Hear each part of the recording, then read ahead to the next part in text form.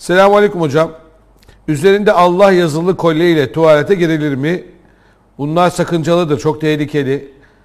Ee, üzerinde Allah yazan yazılarla abdesthaneye girmek, banyoya girmek bunlar sıkıntılı şeyler.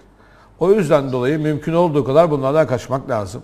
Çünkü bunlar insanı başka şeylere ça- çağırır, daha ş- sıkıntıya ç- çeker, başka sıkıntılara doğurur. O yüzden girmemek lazım, uzak durmak lazım. Rabbim muhafaza etsin inşallah.